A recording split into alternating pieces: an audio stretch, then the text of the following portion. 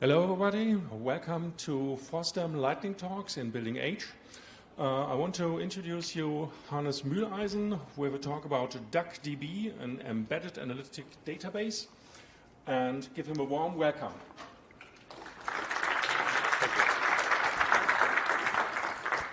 Thank you. Welcome, everybody. Um, so, a quick introduction. Um, so, I work at CWI, which is the Dutch National Research Lab for Computer Science and Mathematics. Um, I also teach um, computer science students about the wonderful world of databases. Um, but I have found out that uh, a good way of learning about databases is building them, uh, and therefore I also do that. And today I'd like to talk to you about one of these products, uh, and that is DuckDB. Obviously, DuckDB is not my own sort of sole creation, but uh, there's other people involved, uh, most notably uh, Mark Raasveldt, who is not here today. Um, so we're going to talk about DuckDB. Uh, DuckDB is a database management system, uh, and it's new. It's completely new, and it's focused specifically to be um, embeddable, which means not embeddable as in hardware, but embeddable as in embeddable into other software. Um, and it's analytical, which means that it's uh, focused on crunching through large amounts of data as opposed to you know, dealing with uh, transactions like uh, you know, orders in your online shop. So if you want to do orders in your online shop, go talk to the Postgres people next door. If you want to crunch large amount of data, you can use DuckDB. Um, now I have to find out whether my clicker works. It does. Um, it is common to start these kind of talks with a description of how terrible the state of this world is. Um, this is no exception. The present is very bad. Um, the data management in data analytics is a, is a huge mess. Uh, I don't know if anybody of you has ever tried to use things like uh, pandas. Uh, and that's great. It works with the five examples that they have on the website. But um, one of the problems there that is really um, overwhelming is the, um, in the data storage itself. You know, people tend to have uh, these text file zoos where, you know, there's a well-known folder structure somewhere which has a bunch of CSV files in it, and then there's maybe some code on top of that that decides which CSV file sh- should be read. Um, once we have load, loaded these files, um, we have these crude query processing engines, for example, the one that is in, in, in Pandas or um, the one that is in uh, the R environment. Um, once people decide that CSV files are too slow, they start inventing their own crude hand rolled binary formats that uh, are on disk, uh, maybe, and, and start processing those. There's been a recent push in the direction. Um, in generally, this is sort of a zoo of one-off solutions, um, and that makes like secondary problems, like for example, changing anything about the data that you have, very difficult. So this is bad. Um, we don't want this. Um, and these things are solved problems. You know, we have data management systems. They've been around uh, for 50 years or so. Um, and what we are trying to do with DuckDB is make them usable also for these data analysis tasks uh, that are so common. So here, so now this is the contra. The future is bright, obviously, um, with SQLite. Uh, sorry, with DuckDB. So, um, who has used SQLite? Okay, this is very many people. Um, in fact, everybody has used SQLite because it is in every browser, every phone, um, and every device that you can imagine. Um, what we're trying to do is build something similar to SQLite, but very different in sort of the um, intended features um, uh, in the sense of what kind of data analysis questions you want to ask. So you want to do anal- uh, data analytics in uh, contrast to with SQLite, where you do um, transactional data management. And how do we do this? Um, we have built a very fast, uh, so-called vectorized uh, data uh, processing engine. I will explain to you in a bit uh, what that is. And we have stolen a lot of good ideas from SQLite. For example, um, DuckDB does not require you to uh, run a separate server. Um, you know, this idea that you have to run a, a, daemon that, that is your database that you have to kind of set up and configure and restart and whatever. No, it's kind of database as a library. Um, you run uh, the, uh, the DuckDB system inside your process. Uh, this has a nice side effect that data transfer from whatever you are using to talk to DuckDB, and DuckDB becomes very fast. Uh, and this is for data analysis, this is really a critical question. Uh, we've written a paper, this was quite fun, uh, measuring, for example, the client protocol speed of various popular databases. And uh, the guys next door from Postgres, they uh, came pretty badly. Um, what we also have stolen from SQLite is the idea that you have a single uh, file storage format. So basically, all your database, no matter how complex it is, um, no matter how many tables it has, is in a single file. Um, and we've also stolen the idea of that it should be simple to install. More on that in a bit. So this is, uh, this is the bright future. Um, how do we make that work? Um, so DuckDB is uh, a library. So think of a, just a, a package, a library that you in, embed into your uh, application. Um, we have zero external dependencies. This is really something that, that uh, took a lot of work. Um, but it is something that we believe uh, is, is actually quite necessary for a library to be successful, is that you don't have to install 57 uh, other programs before you can use it. Uh, in fact, uh, we have a special way to build DuckDB that results in two files, one header and one implementation. Um, DuckDB has a, the, on the base layer is a C++ API. Uh, we have full SQL support, so I went through um, the, this wonderful job of implementing things like window functions in, uh, in a database system, which I can tell you are not fun. So you don't have to do it because you can use DuckDB. Um, we also have built a, a, wrapper for the API that SQLite uses. So in principle, what you can do if you have an application that talks to SQLite, you can do some uh, library preload tricks and it will use DuckDB instead. So this is uh, something that we have done to make it easy to, to switch. We've also um, learned from previous projects how important it is to integrate with the tools that people are using. Uh, in, the, in, terms of data analysis, people use R and Python. So there are packages for R and Python. Uh, I'll show an example in a bit um, that basically include everything that you need to run uh, DuckDB as well. Um, and just to wrap it up, there's a command line interface. Uh, and for the people that want to do say, web stuff, we have a REST server as well.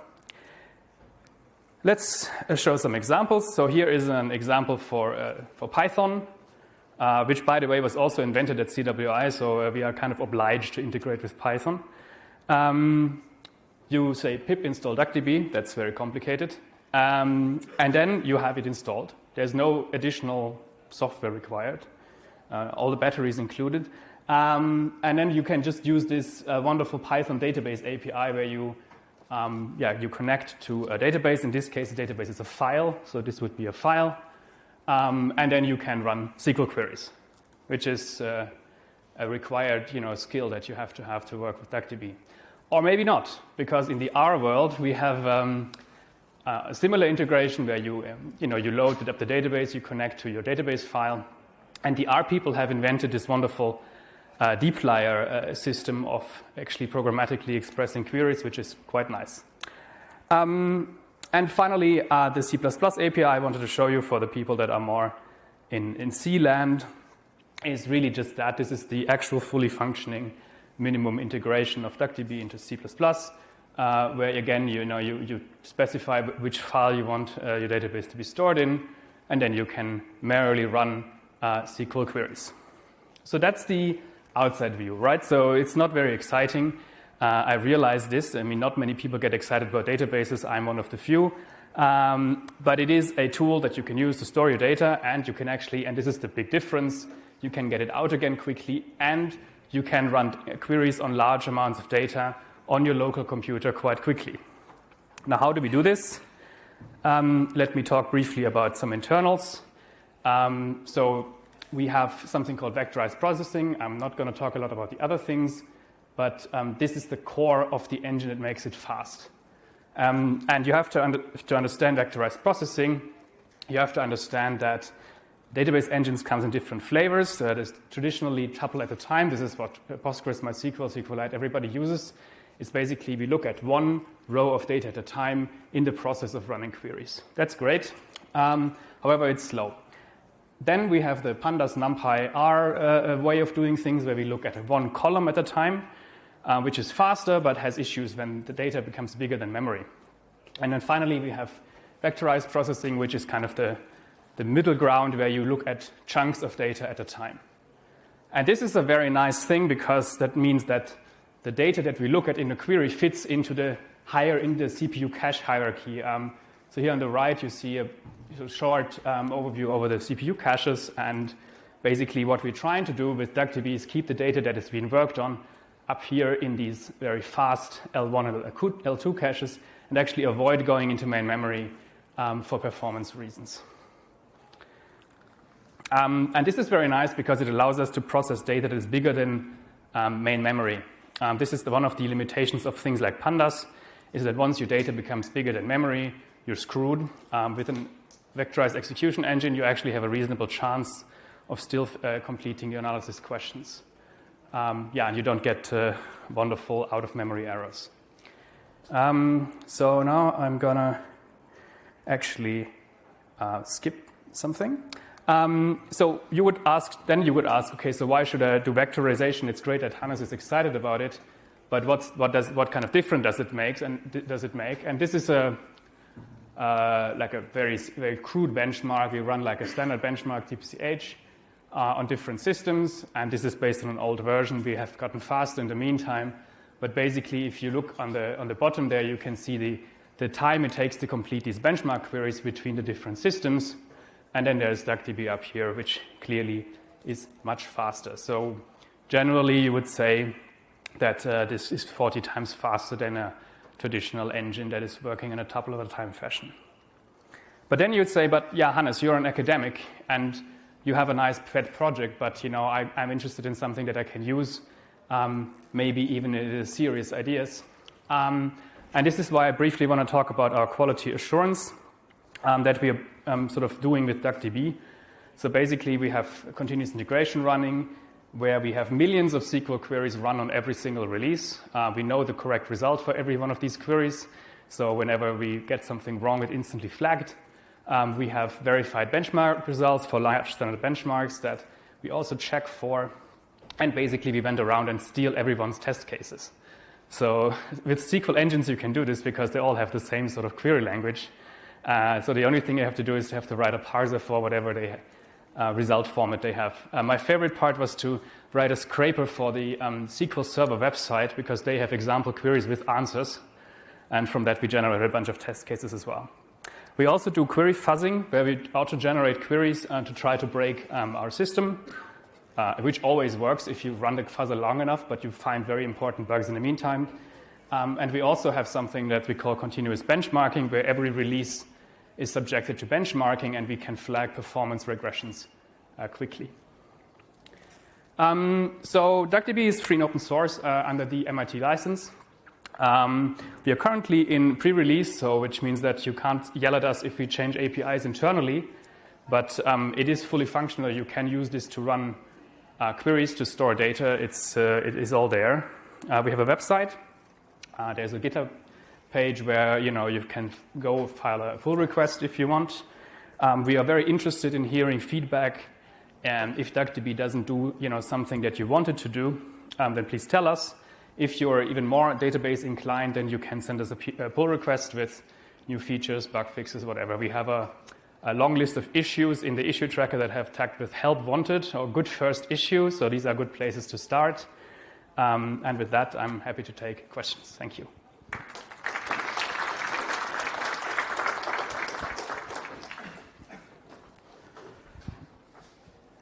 Can I ask two questions?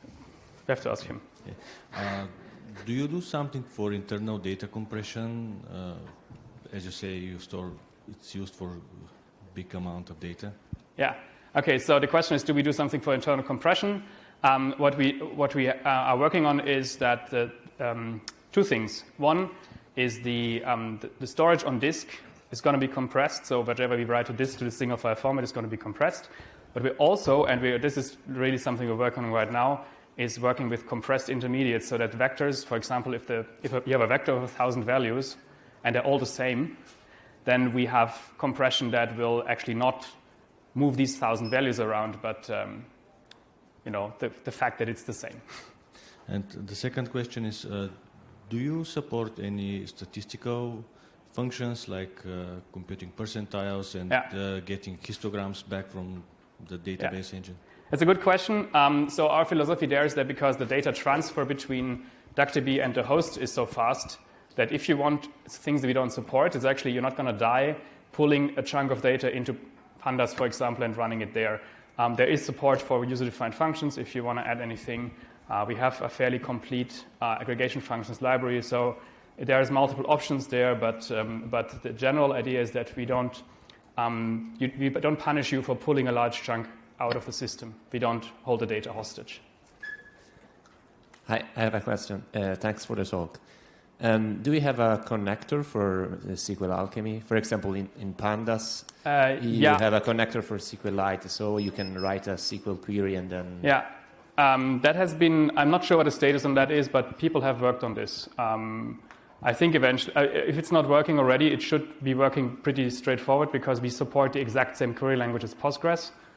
So I, I suspect it should uh, already work, um, and it's just a question of plumbing um, the connection.